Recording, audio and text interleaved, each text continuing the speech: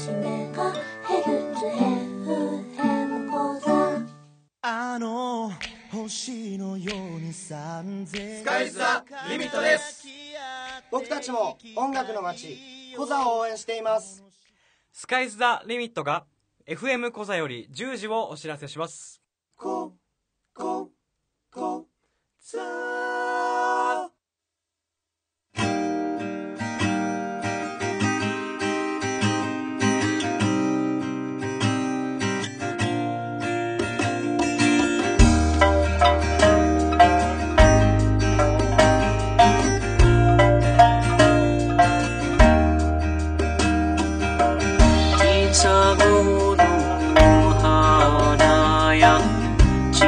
सजी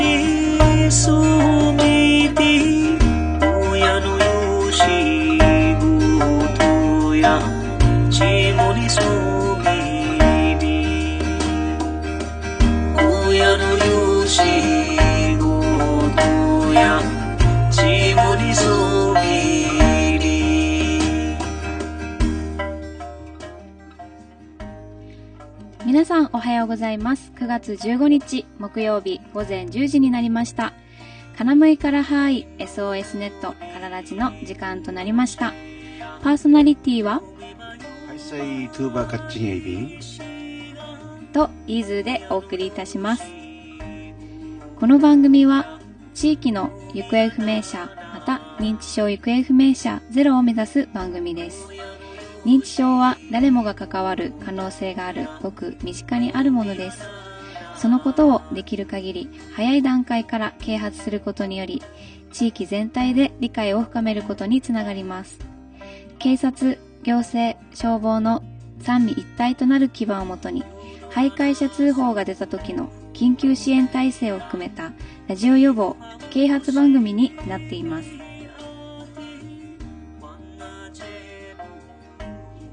この番組はデイサービスセンターシオン。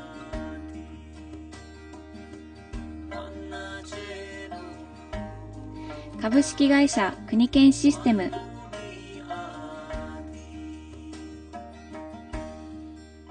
au ショップネーブルカデナ店。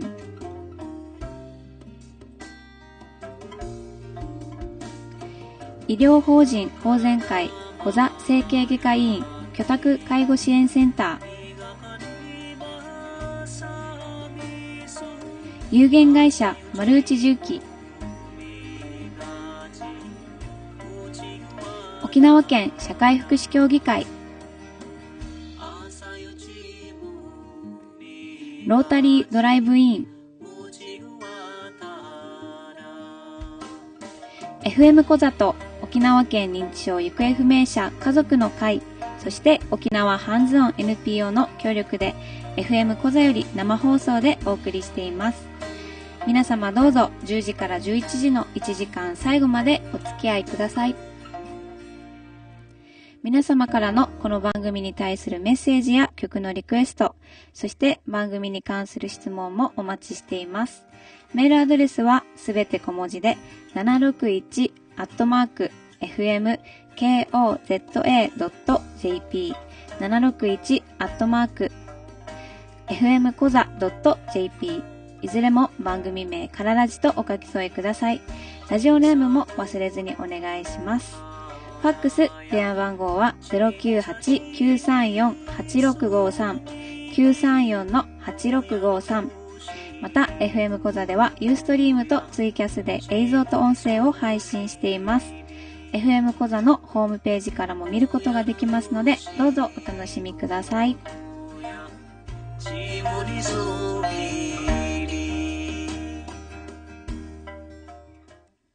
オープニングの曲はブランドン・イングでティンサグの花でした。それでは一度 CM に入ります。こだわりの出汁でいただく日本そば季節の食材でサクッと揚がった天ぷらを添えて締めはそば湯でほっこりと県産ブランド豚を使ったアグー天ぷらは柔らかく味わい深い一品。北中城島福小学校入り口近く日本そばと天ぷらの店桃庵。はーい、行くよー。お、お、かわいいね いい笑顔だね。お子様の健やかな成長を第一スタジオで残しませんか？写真を撮るなら第一スタジオ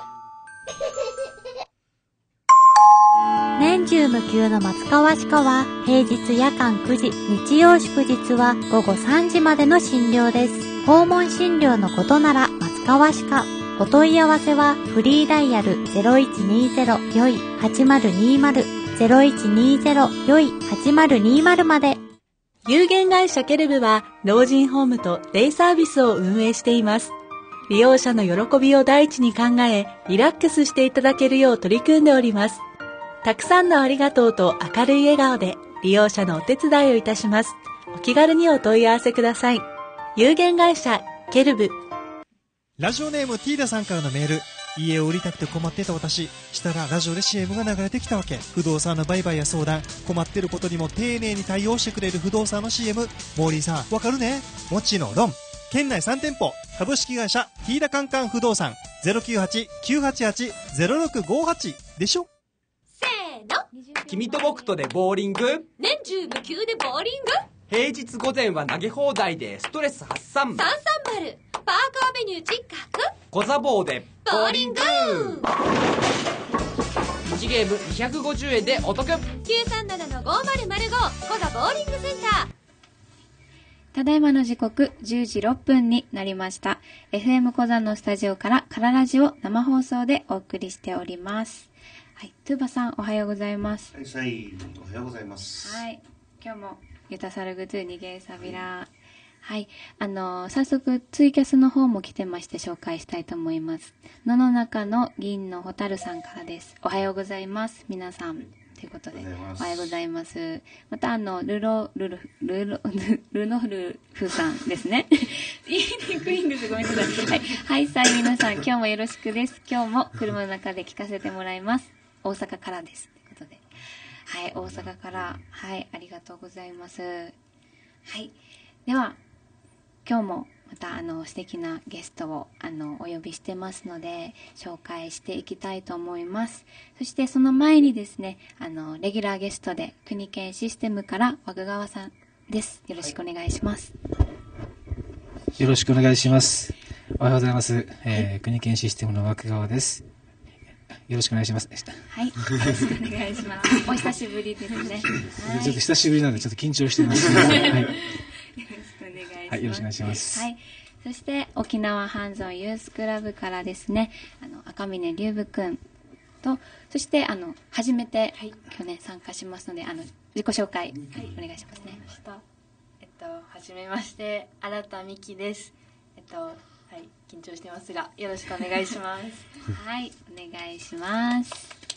はい。では、トゥーバさん、早速、今日のトピックとゲストの紹介をしたいと思います。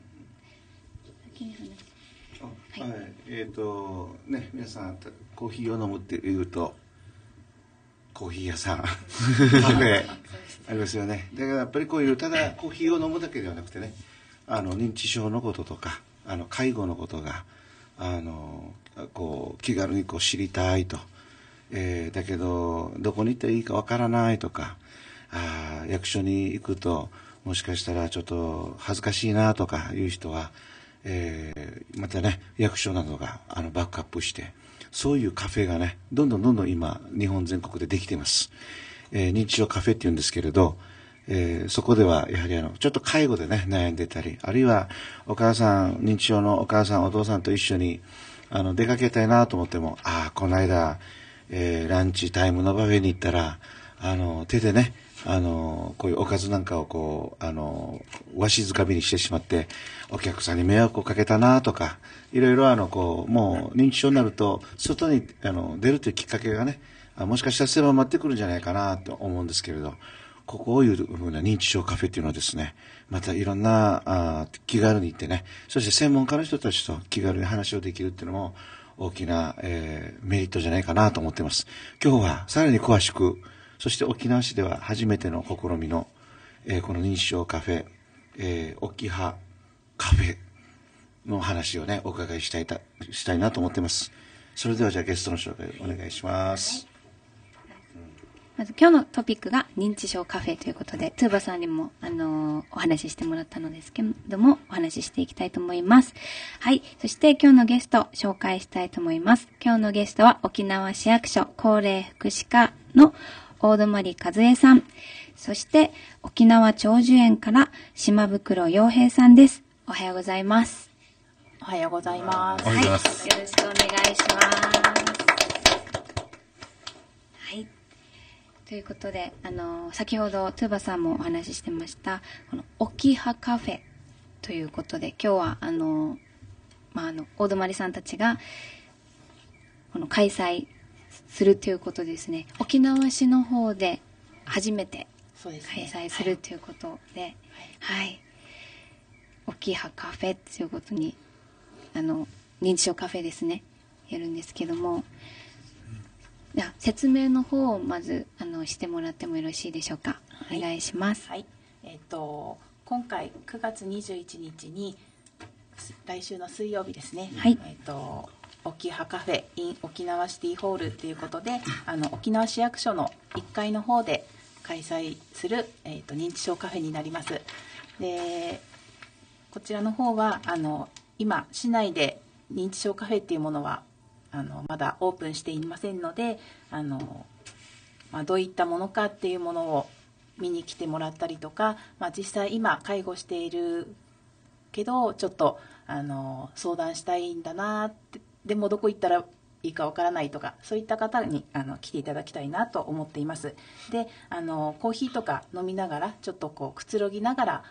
お話できたらあの今までのこうストレスとかそういったものもあの喋ってもらえるんじゃないかなと思ってこういったものを企画しました。で今回このカフェの運営にあのちょっと市役所だけでは力不足なところがありましてあの小規模多機能さん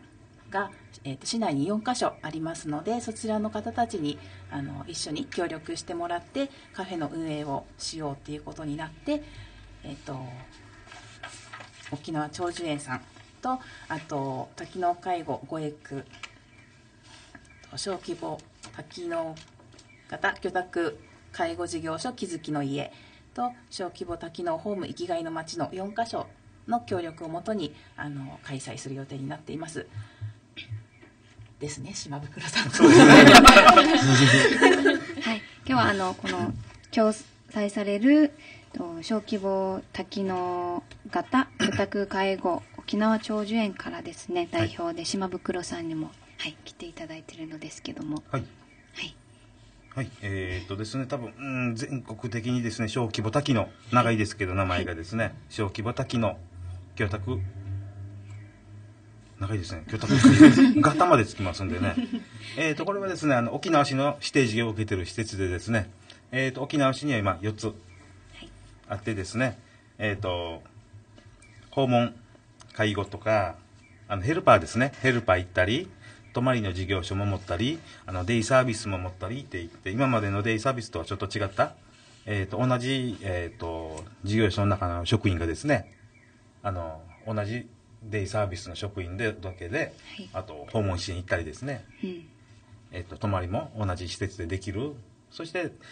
その人が家、今日休んで家にいたいよっていう時は家にご飯作りに行ったりとか、洗濯しに行ったりって、買い物支援したりっていう、あの、新しい取り組みのある施設なんですよ。うん。結構あの、その一人一人に合わせた介護そうですねをされるっていうのがうんポイントですね。そうですね。おーうん。それで、あの、包括の方からですね、あの、協力入れて、えっ、と、手助けができたらなと思って、えっ、と、一緒に力を合わせてやっていきたいと思います。うん。よろしくお願いします。お願いします。であのプログラムの方もあの見たのですけどもいろいろもうほぼ、まあ、一日中っていうぐらい時間が長い時間あの開催されるみたいなのですけども内容としてはこの詳しく教えていただけますか、えっとですねカフェの方が10時から16時ということで、えっとまあ、コーヒーとかちょっとしたおやつとかも準備しています。こちらの方は無料で提供になります。でそれ以外も、えっと認知症テストとか相談とかあの個別でもできますしあとはあのまあ、ちょっと認知症に関するクイズだとかあとこの小規模多機能さんたちから出してもらったクイズとかそういったものもあってあの全問正解したら、まあ、ちょっとした景品がありますのであのこちらも参加していただけたらなと思います。こちらは先着40名様になりますね。であとはあのこの協力してもらっている小規模多機能っていうもの自体があまりあの皆さんにこう知れ渡っていないっていうのも、あの実際あるかなと思いますので、あのそちらの事業所紹介も、あのやっています。でそれ以外で、えー、と11時から11時半にとあと2時から2時半が認知症予防体操ということであの体操教室の方も開催しますね、であと12時15分から12時45分がランチコンサートといってあの市役所の中でコンサートが開かれます。でこちらの方にはあのワンボイスっていうグループがあの来てもらうんですけれどもこちらの方は65歳以上の高齢者の方たちが活躍しているあのロックコーラスグループっていうことであの、ね、なかなか高齢者でロックって ねあんまりないと思うのであの、ね、みんなこうやって高齢になっても歌えるんだよっていうのをちょっと見に来てもらえたら嬉しく思います。はい、で、えー、とあとですね一応しんあのこちらの方オープニングセレモニーの方もあのやる予定になっていてこちらは9時20分からあの役所1階の方で、あのやりますので、お時間のある方は来ていただけたらと思っています。はい。あのですね作川さんの方からもお話あのああはい。ああ作川さんからの方からあの作川さんもあの気づきの家でね。あの、はい、共催されるということであのお話聞いたのですけども、あの何かこの認知症テストとかいろいろこのけあの検査をする中で機械もあの借りてそれで検査するっていうふうにもあのそういったコーナーも作るっていうことでお話しされてたんですけども。そうですね。あの、えっ、と今回龍薬さんから、あの機械の方をお借りして、であの、えー、と認知症のテストができるような形で、えー、とそれは2台設置、うんしますのでで、えー、とテストをして、まあ、これであのちゃんとした認知症かどうかっていう診断がつくものではないので、あの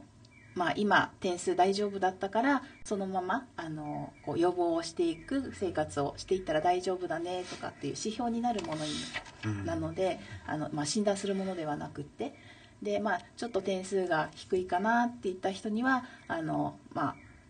あ、もっと予防とかそういったものを心がけてあのやっていきましょうねっていう指導をしたりとか。であとはもう必要であれば病院受診した方がいいんじゃないかっていう、まあ、本人のあのお話を聞きながらそういったところにつなげていけたらなと思ってであのパソコンを使いながらの検査になっていきます。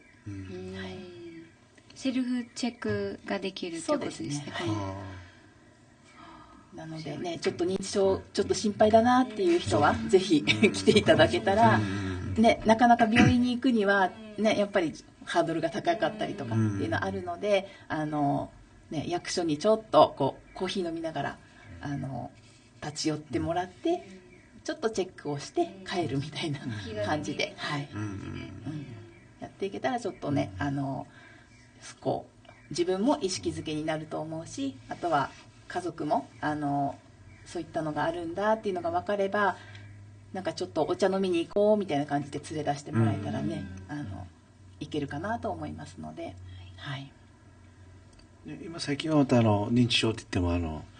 かなりの種類があってねよくよくあるのがアルツハイマー型とか、えーレビーレビー小体型とかねいろいろあるんでね認知症でもあのもしかしたらどの種類どのカテゴリーにね合うのかなっていう方もあのいるんじゃないかなと、あのネットで調べたりねもしかしたらとかうちのあの、お父さんは、お母さんはとかね、あるかもしれない、ある自分はとかね、あの、あるかもしれないですけど、こういうふうなテストでは、こういうアルツハイマー型とか、レビー小体型っていうのは分かるんです？えっと、そういったのはわからないで分かるんですす。よね。やっぱちゃんと、あの、そ CT を取って、病院でしか分からないと。ああ。まあそうですねはい。若質問とか意見とかありましたら。そうですね。これは、今回、沖葉カフェは、えっと、9月21日にあるということなんですけど、これは、これからも今後、どのようなまた展開というか、継続的にややっていくような形にはなっていくんですか？えっと、今回はですね、この日1日だけになります。ああそうですか。はい。なので、この日を逃したらもうちょっと役所で、ね。今年度はちょっと、うんうん。あの、チェックとか、あの、コンサート聞いたりとかっていうのはちょっと難しくなるので、はいはいはい。ぜひこの日開けていただいて、はい 来ていただけたら、21日はい、はい。と思います。お金とかもかかるんですか？入場料。えっと、カフェの方もあの無料で提供になりますし、あと、うんあの認知症のテストの方もあの特にお金もかかりませんので、あのただ役所にふらって来ていただいて、いいね。沖縄市の14万人の皆さん、無料だそうですよ。応援してやってください。よろしくお願いします。来てください。パニックだったね その時は島袋さんが頑張ってそうので。ですね。えっと、この 4, 4事業所のですね、からも職員2、3名ずつ来てですね、多分10名ぐらいで、と、あと包括さんからも協力して、あの、コーヒー切らさないように、えっと、買い元係も走りま走りますんで、あと、おやつとかもですね、あの、蒸しケーキとかですね、サーターアンダギーとか、わらび餅、あと、僕たちがちょっと今、栄養士さんとですね、元のカフェの店員とタッグ組んで、うん、健康にいいような、えっ、と、食べ物を作ってるそうなんで、えっと。長、寿園さんのはまだお楽しみってことなんお楽しみですね。手作りで皆さん各事業所からそうですね。提供してもらって、おおいいですね。おとついぐらいですかね、もう、この、僕たち栄養士さんと、宜野湾の病院で働いてる栄養士さんと、カフェの店員3名でも、あーうん、す作って。作って食べてくださいって僕言われたんですけど、僕そんなにね、ね、そこまでわからないんですけど、結構すごいのができてるらしいです。はいはいいいですね無料で食べれるので。沖縄市の皆さん無料でって食べて帰るだけね、あの気持ちでもいいと思いますので、とりあえず足を運んでもらうそうですね。はい。ことを目標にしていますね。はい。またあの相談とかもこういった専門の方たちにできるのでいい機会だと思いますもうそこが大事ですよね、本当ね。相談ができるっていうのは。はいはい。うん認知症予防体操っていうものがあの2回あるのですけどこちらもまたあの専門の専門家の方が教えて指導するっていうそうですね。はい。なので、まあ、あのちょっと杖をついたような人とかでも、あのできるような、あの体操教室にしていますので、はい。なので、ちょっと頑張って役所まで来ていただいたら、私たちも介助しながら、あの、ね、何をやりたいかっていうところに連れて行ってあげたいと思いますので、はい。ぜひ。ぜひあの、和久川さんのところの国研システムさんが、あの、もうこう作り出したですね、ケアレア。えーこれもまたあの、今後の、あの、えーまあ、自分のあの、認知症の家族が、えーいつもね、あの、外に出てしまう傾向があるというところがあるんであれば、えー IT の力、あの、この危機の力っていうのもやはり見守りをするということで大きな役割を果たすと思うんですね。ぜひあの、えーケアレアもですね、このカフェの方で宣伝していただけたらなと思うんですけど、どうですか、若川さん？はいはい今でお願いしておきましょう。そうねあの、ぜひそういう機会があればですね、あの、紹介をさせていただきたいんですけど、あの、まあ、私たち紹介、あの、この開発しましたケアレアはですね、あの、まあ、まさにあの、この介護している方のですね、えー不安というかですね、えー負担、負担、あの、精神的な、気持ち的なですね、不安なども、えー解消できればという思いで開発しておりますので、まあ、いろんな方に使っていただいて、えーその、その場面、その場面に合ったですね、使い方、あるいは、あの、不便さとかですね、そういったものがあれば、そういった声をですね、また反映させていただいて、また、あの、今後ですね、あの、よりいい製品にして、えーこの介護している方の助けになるような、えー介護製品というのを目指してですね、頑張ってますので、まあ、説明させて説明というかですね、紹介させていただける機会があれば、ぜひよろしくお願いします。はい、すみません。ああ、そうです。はい。キャス。あはい。リュウブ君あ、いいですか？はい。ルドルフさんですね。ね先ほど先ほどもはいいただきましたけども。えー、まあ、おばあちゃんですかね。おおばあちゃんが、えー認知症で大変ですということで。実際にあのーまあ、身近、身内の中で、そういった方がいるということで、メッセージいただいてますね。大阪からね。はい大阪にもね、認知症カフェってね、あの、おそらくあると思いますよね。はい。全国でもう600箇所以上っていうなんか、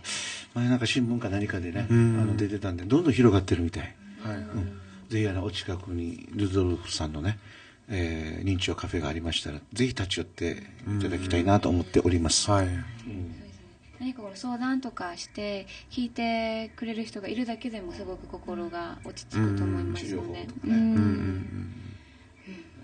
これまたあの認知症の、えー今患っている方が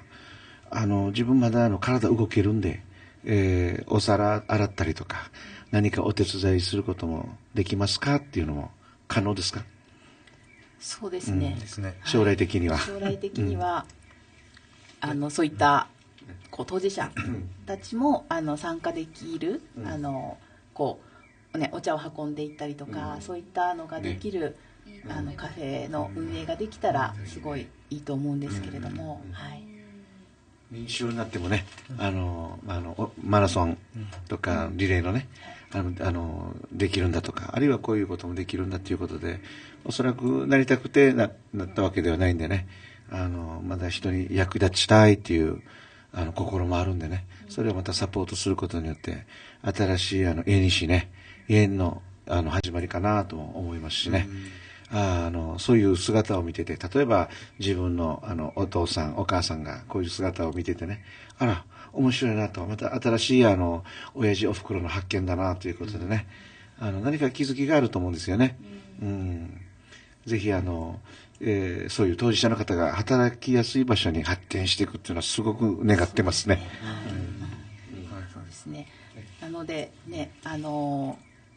そういった当事者の人たちはやっぱり通所あのデイサービスとかですね、そういったところに行くっていうだけになっていたりとかっていうのがあるので、あのやはりそういった人たちが活躍できる場所っていうのがあったらすごいいいなと思います。で、多分あれですよね。こう場所によっていろんなこう表情が変わったりとか、いろんな力を発揮する人っていっぱいいますよね。そうですね。よくまたね認知症だから何もできなくなるんじゃなくてやっぱり昔のことをよく覚えてるんで、やっぱり料理させたり包丁使わしたらも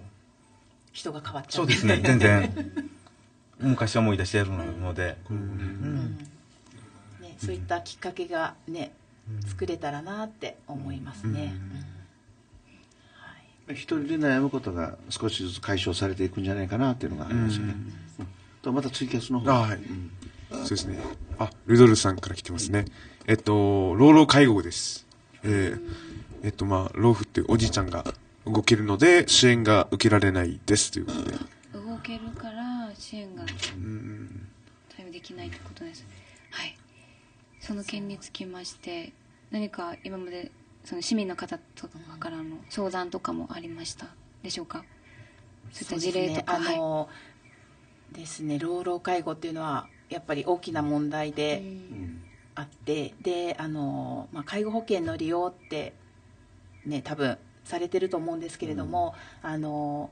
で多分ねおばあちゃんの方が認知症で大変で、で、えっとおじいちゃんが、まあ、動けるのでっていうことなので、あのこうこの介護保険の、まあ、システムっていうかですねあの、男の人だから家事ができないって言ってヘルパーが使えるっていうものではなくって男の人だからとか、そういったあのこのくくりがですねあのなんていうんですか、う難しい難しいんですよね。そうそう、うん、なのであのまあねちゃんと見れるんじゃないかっていうのがあってあの多分そういうふうなこう支援が受けられないっていうふうな形だと思うので、あのまあ、何ができないかっていうのを具体的にあのこうケアマネージャーさんとかに相談してでそれがこううまくあのこういったサービスがあるっていうのがあの分かれば、そのサービスにこうこの老老介あのなんだろうこういったかこういった方たちでもあのどうにかあのご飯が作れないんだって言ったら、まあ、ご飯ちょっとね、お弁当配達してもらったりだとか、一食だけでも配達してもらったりだとか、そういったことをあのちょっとなんだろうな提案してもらって、でで多分いつもこう食事とかだったらあったかいものを食べたいとかっていう希望はあるかもしれないんですけれどもそういった時ねまた誰かちょっと別の人に1回だけ週1回だけでもちょっと頼んだりとかそういった形であのできたらいいんじゃないかなと思うんですけどね。ちょっとこの老老介護のところは難しい問題が、ねあるので。そうです。あの、こういったことをですね、相談するところとかですね、あの、あと、やっぱり老老介護の場合なんですけど、あの、情報を入手するす手段が、今、あの、我々はこの、例えばスマホを使える人たちは、いろんな情報の入手の仕方ありますけど、お年寄り、あの、もう、あの、当然、ガラケーというかですね、スマホじゃない携帯、ささらに携帯持ってない方もいるかもしれないじゃないですか。その中でやっぱり情報をどうやって集めるかっていうのが、とてもやっぱりあのギャップがあると思うんですね。あのまあ、役所とかですね、あのこの介護施設に行けば、さまざまなこの介護関係のですねあの情報を持っていていろいろその人が相談さえしてくれればあの的確なアドバイスもいろいろ用意されてると思うんですね。なんですけどそれすらもわからないというかどこに行っていいかわからないとか。で結局出かけるのがもう、まあ、変な話も面倒くさくなるというかですねあの考えることができないんで、なると思うんですけどそこがもっとこのこういうところに来たらいいですよってアピールされているような何か方法があるといいですけどね。そうですね。うんまあ、私たちの方も、まあ、まずは役所に来てもらったらあの役所の方でどこに相談してっていうのがあの紹介はできるのでで、うん、なので多分ねこういった方たちも、そうですね。まずはそうですね。まずは役所に足を運んでもらった方が本当はいいですよね。で先ほどあの、まあ、明美さんがあの、ツイキャスを読んだときに、まあ、老老介護ですと。で、おかおばあちゃんが介護さ受けてて、おじいちゃん元気なので、えーサービスが受けられませんとか、っていう一言で終わってる。結局役所に行くと、この同じような、なんていうか、あまりいい返事がもらえない、解決策がもらえない、あの、事務的な、えーまあ、法律がこうだからとかですね、えー制度がこうだからとかっていうところで、えー終わってしまうって、最初から諦めている方ももしかしたらいるかもしれないですね。そうですね,、まあ、ねそういどの程度この方たちが動けるのかわかんないんですけど、もし動けるんだったら、ね、この認知症カフェとかに足をは、ね、あのちょっと探してもらって、であの足を運んでもらってでそうすれば多分おじいちゃんも、あのちょっと気が休まると思うしこのおばあちゃんの方もあの、ね、いろんなこう刺激を受けて楽しく過ごせるかもしれないので、そういったところもねあの今こういったカフェがね多分どんどん増えてきてると思うのであのそういったところに足を運んでもらうっていうのも一つ手かなって思いますね。そうですね。そういう意味ではカフェがどんどんこう広がってくると、入りやすいですね。あの、役所に行くよりもまず、そうですね変な話、カフェの方が、そうですね皆さん気軽に入りやすいかもしれないですね。え家族としてはどの程度のあの認知症の重さとかとかそういうのをあの測ることができないんで、えーやはりあのカフェなんかに足を運んでえもしそちそちらにあの専門家の方がおれば、あのその方を通じてまたあの行政の窓口に行って、えー福祉の窓口に行ってまたあの、えー代わりにあの話してもらうっていうのも、もしかしたら伝わりやすさでは、あのいいかもしれませんね。うん。そうですね。認知症の人も結構こう症状があのコロコロ変わったりとか、今日はすごい元気なんだけど、もうなんか全然違う人になってたりとかっていうのがあるので多分そういうのもあの大変だと思うのでやっぱりあの大変って言って一人で抱え込まないで、あのどこか相談できるっていう環境があったらいいんじゃないかなって思いますね。はいありがとうございます。あ、少しおあお話がそれてしまうんですけど、この沖葉カフェのプログラムの中で、先ほどランチコンサートされるということで、あの、ワンボイスさんたちですね、60歳以上の高齢者の方たちが活動しているロックコーラスグループということで紹介があったのですけど。ロックっていうのに惹かれてる トゥバさん、ロックが好きなので。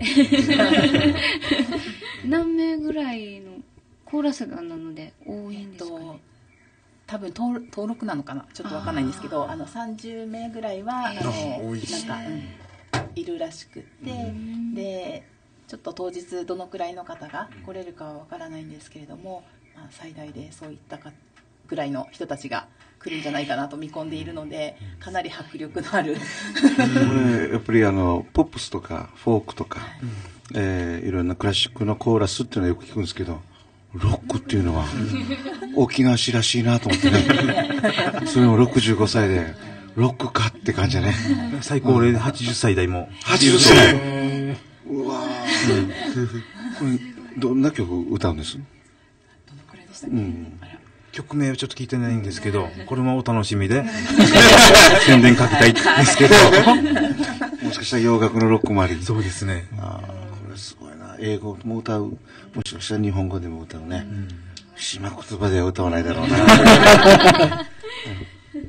ぜひリクエストの方をねリクエストの曲をあの紹介していただきたいと思いますけども。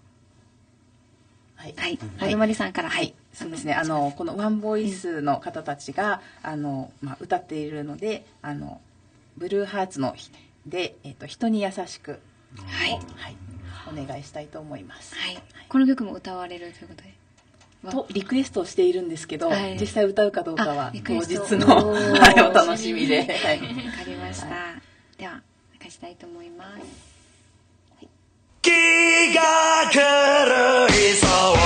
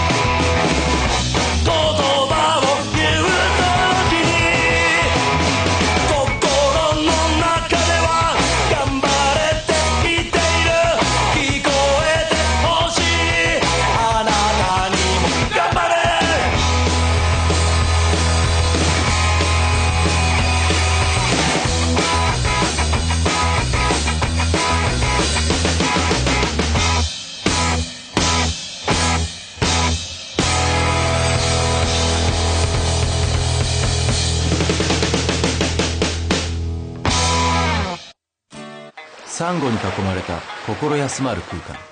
豊穣な沖縄の海を味わう大人の隠れ家。お得な宴会プランもご予約受付中。お問い合わせは937-2135楠木通り沿い沖縄市役所近く。諸国飲み食いどころ紫サンゴ高レベルの安心安全な卵をお探しのあなた。タサトファームは32種のハーブオーガニック野菜発酵飼料を使った鶏牧場です。完全会員制で栄養満点の卵をお届けします。愛情卵のタサトファーム。ダイハツ。ダイハツの新車をお探しの方は低金利自由返済10年ローンいつでもお買い得価格の全国最優秀販売店オートアイズへ。お問い合わせは938-9600金秀五エク店近く U ポス隣のダイハツグランドピット店オートアイズまで。社会福祉法人沖中福祉会。就労支援事業所ゆいまーるでは EM 入りスマイル堆肥と培養土。アスカ農園の野菜や花苗などの生産物。健康弁当の製造販売を行っています。こうした就労支援活動を通して障害のある方をサポートし地域社会への貢献を目指しています。障害のある方々の体験利用見学ができますのでお気軽にお問い合わせください。964-6696就労支援事業所ゆいまーるまで。保険の内容がわからない。加入している保険は自分に合ってるの？保険料もっと安くならないかな？などなどお客様のそんな疑問にお答えいたします。お問い合わせは一般社団法人生命保険証券診断士協会。詳しくは LCQS にて検索。ただいまの時刻、と10時42分になりました。FM 小座のスタジオからカララジを生放送でお送りしております。今日のトピックは認知症カフェということでゲストに沖縄市役所高齢福祉課から大泊和恵さん、そして沖縄長寿園から島袋洋平さんをお迎えしてお話ししております。はい。では、トゥーバさん、あの、曲もですね、もう一曲。もう一曲ね。はい。大泊さんと、はい、島袋さんにあの、プレゼントするということで、はい。ロックンローラーがね、通っていけたね。小さん面白いね。うん、目の前からロックンローラーが通ってるからね。うん、はい。じゃあ、ちょっと曲をプレゼンしましょうか。はい。ザ・クール・セダーズとか、あの、フォーククールセ・クールセダーズって言ってね、えー、昭和の曲で悲しくてやりきれないっていうのがあるんですけど、このユースクラブの、えー、三木龍部がですね、あのよく最近歌ってるんですね。はい。えー、まあ大勢歌うんですけれど、今日は二人来てるということで、えー、おそらくあの初めて参加するあのこのミキちゃんは、えー、歌うの？と 思うんですけれど。はい。トゥバさんがギターをあ、いいよ。いきます。はい。じゃあ、いきますか。島言葉で歌う？大和口から。が、はい。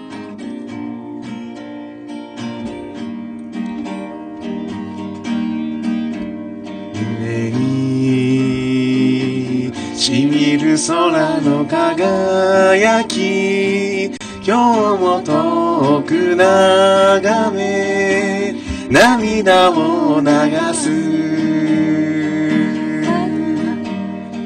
悲しくて悲しくてとてもやりきれない。このやるせないもやもやを誰かに告げようか。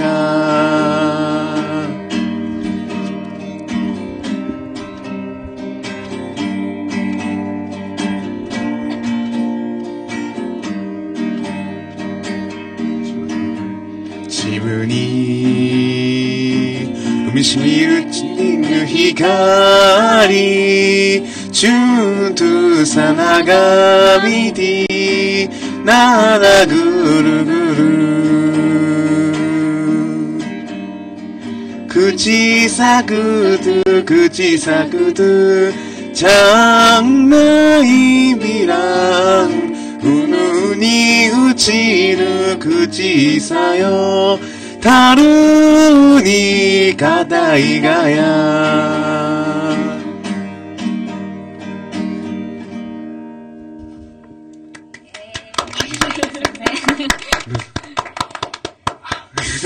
大事でしたかね悲しいことはたくさんあるんだけどね、はい えーその悲しみをぶ,、ね、ぶっ飛ばしていきたいなとうん思ってますね、はい今日この頃ね。はいはい、ということで、リュブからじゃあ、はいえー告知の方。はい。うん。かやびたん。えー、っとですね。まず、えっと、9月の18日からの方からですからね。ね宣伝させていただきます。えーっと、シマクトゥバ県のですね、片指屋大会が、えー開催されます。えー、そこでですね、えっと、私たち沖縄ハンズオンユースクラブがですね、のメンバーの中で崎山凛と、えー、玉木慎之介ですね。えー、玉木慎之介は、まあ、高校1年生で、えー、出るんですけども、えーこの二人が、えっと、大会に出場させていただくということで、えー彼たちは、まあ、えっと、私たちも所属しているんですけども、えー、茶炭の文化協会の島久手部青年部の代表として、えー出場します。ので、えーそこの方も注目していただきたいと思いますけども、えっ、と、私たちユースクラブもですね、えー別、また、少し、出さ、あの、出場させていただくということで、えー歌の方も一緒に歌わさせていただきますので、えーぜひあの、お時間がある方は、えーおきえーと、沖縄県のコンベンションセンターですね。宜野湾の方にあります。はい。そえっ、と、劇場等で行いますので、ぜひ、何時からですいえっ、と、1時半からですね。1時半から、えっ、と、沖縄コンベンションセンター劇場等の方でありますので、ぜひ、えー、面相利用祭。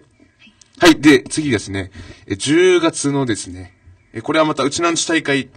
と、ふく、あのー絡まるというか、うちなんち大会のものなんですけども、えーっと、島くてば片指輪世界大会ということで、えー移民一世たちのルーツと奇跡、故郷への伝言ということで、えーっと、2016年10月28日、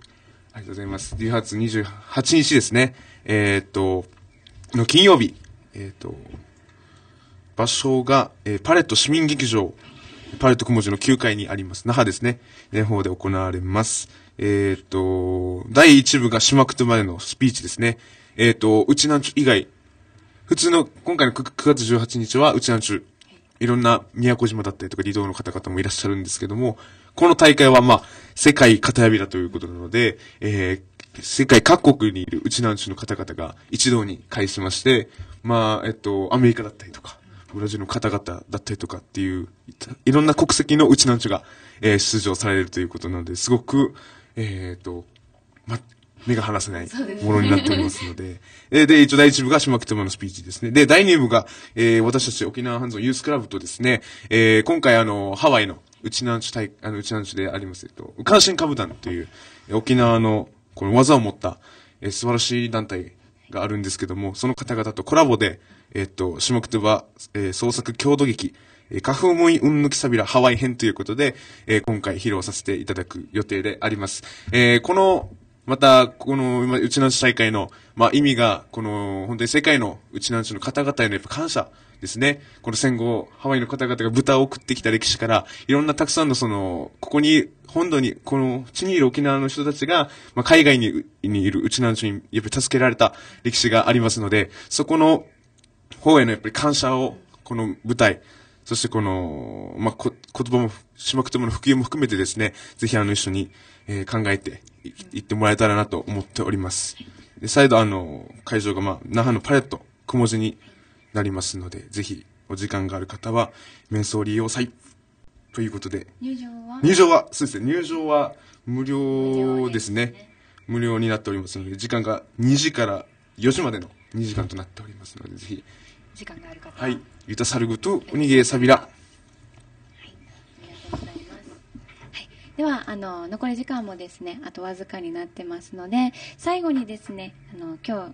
日ゲストに来られてますあの大泊さん島袋さんにまたこれからのですねこういったあの今日はあの認知症カフェについて告知をしていただいたのですけども沖縄市で初っていうことでまたこれからの展開とかですねまたお二人があの持っている、まあ、希望やあのこれからの夢とかですね、あのお話ししていただけたらと思いますのでよろしくお願いします。はい、さっきお泊まりさん。はい。えっ、と、そうですね、今回、沖縄市で初めて、あの、認知症カフェの方を開催します。沖葉カフェ in 沖縄シティホールっていうことで9月21日水曜日10時から16時開催になりますで今回はあのこの1日だけの開催になりますのであのこのチャンスを逃さずに皆さん来ていただきたいと思います。で今後のあのこのカフェについては今回のこの企画であのまた検討していきますのであの、まあ、市内にたくさんできたらいいなって私は願っているので、あのまあ、そういうカフェに興味のある方もあの来ていただいてあのあこういうふうにやったらいいんだなっていうのを、まあ、ちょっとだけヒントをもらって帰ってもらってもいいかなって思いますのであの、まあ、こういった認知症についてちょっと興味のあるっていう方も参加していただけたらいいなと思っています。はい、ありがとうございます。島袋さん、お願いします。はい、えっ、とですね、僕もね、えっ、と、21日、9月21日ですね、えっ、と、午前中なんですけど、参加します。うん。ですので、なるべく多くの参加、えっ、と、いただけたら嬉しいと思っていますね。あと、やっぱりね、認知症になってもですね、住み慣れた地域でですね、えっ、と、暮らしてほしいっていう、ね、一番の願いがあるんでね、それに向けて、えっ、と、僕たちですね、あのこの専門職とかですね、長者のメンバーも、持ってるのでやっぱり認知症やっぱりプロプロがどんな風に接してるって。やっぱりねいいこと聞かないから怒ってしまうとか伝伝わらないと。って言っただけ逆効果になるんで専門の職員がどんなして対応してるんだろうって見に来るのもいいのかなっていうのもありますね、うん、やっぱり笑顔ね。笑顔で返せば笑顔で帰ってくるし、うん、いいこと言うやつだし、さすが犬犬出身のやつさん。島中ですから。そうだよね。まさしく。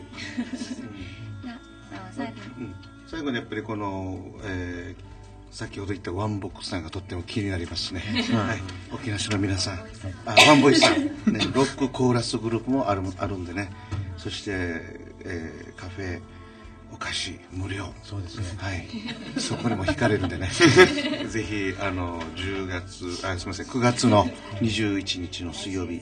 来週水曜日10時から4時、ね、ぜひ沖縄市の方に、えーこれは役所だよね。ロビーね。はい、はい、楽しみだね。ロビーはこの日に、ね、カフェになってるっていうのがすごいよね。これもすごい企画だなと思うんですけれども、よろしくお願いいたしますね。はい。あの、まリュブ君たち、また奥川さん、ミキさんも、はい。あの、話ですね。はい、一言お願いします。奥川さんからお願いします。はい、えーそうですあのこの9月21日のあの沖葉カフェあの高齢者のロックバンド、えーワンボイスさん。えあのぜひブルーハーツが聴ければ 盛り上がるかなと思います。楽しみにしています。はい。ありがとうございました。あミキさん、説明あったんですがカフェとかお菓子とかいろいろ魅力的な言葉を聞いて興味津々なのでぜひ皆さんも行っていただけたらなと思いますまたさっきリュウブさんからもありましたうちのアンジュの大会にもぜひはい皆さんよろしくお願いしますはいはい。リュウブおはい、願いしそうます。ですね。えっと、まあ、いろいろな問題、子供の貧困の問題だってもたくさんありますけど、やっぱり子供たちの居場所づくりも、そうですね、この本当にお年寄りの方々の居場所も、づくりも本当に大事になってくるんじゃないかなってすごく、今回の話を聞いてすごく感じるところがありました。でやっぱりこの、本当に同じ悩みを持った仲間がすごく集集まるってことにすごく意義があるんじゃないかなって思いますんで、本当に皆さんこの9月21日ですね、沖縄市の皆さんですね、14万人ですよね。14万人の皆さんぜひ、あの、お越しください。よろしくお願いします。はい。この一つ最後の質問なんですけど、このコーヒーの種類はアメリカンですか？それともブレンドコーヒーですか？えーっとですね、このコーヒーがですね、また、けこの担当の方が海外から、えー。すなんで、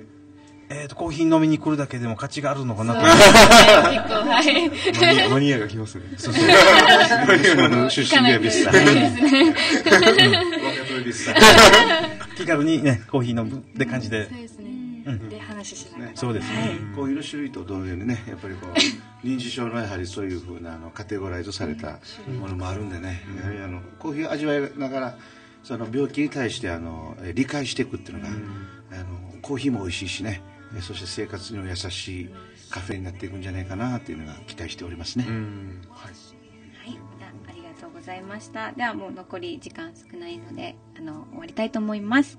この番組は、デイサービスセンターシオン株式会社国研システム、au ショップ、ネーブルカデナ店、医療法人公善会、小座整形外科医院、居宅介護支援センター、有限会社マルチ重機、沖縄県社会福祉協議会、ロータリードライブイン、FM 小座と沖縄県認知症行方不明者家族の会、そして沖縄ハンズオン NPO の協力でお送りしました。今日のゲストは沖縄市役所高齢福祉課の大泊和恵さん、そして沖縄長寿園の島袋洋平さんでした。ありがとうございました。ルドルフさん頑張ってくれ。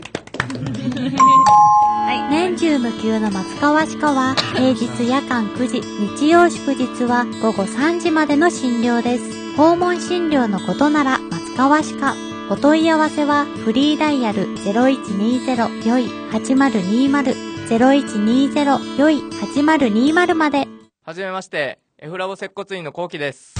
姿勢改善スポーツ障害ムチ打ちなどのお悩みはお任せ